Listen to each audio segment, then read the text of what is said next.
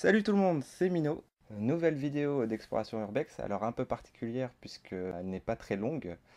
Pourquoi? Parce que tout simplement, euh, on s'est fait surprendre par le gardien qui surveillait l'orphelinat, et euh, pas n'importe comment puisqu'il avait un drone. Belle surprise euh, quand on est en train de visiter le lieu, en train de filmer, et puis il y a un drone qui vole au-dessus de ta tête, et bah tu te dis mais c'est quoi ce truc? Qu'est-ce que ça fout là? Et donc, euh, bah, cinq minutes après, euh, on a le gardien qui déboule et puis qui nous dit euh, de partir. Heureusement, il était cool, on n'a pas eu de soucis, on a juste eu à quitter la propriété. Et puis on s'en doutait un peu parce qu'il y a des panneaux partout, comme quoi le site est surveillé, que c'est une propriété privée. Voilà, il n'y a pas une réelle surprise là-dessus. C'est dommage puisqu'on on avait vu de nombreuses photos et de vidéos avant de venir.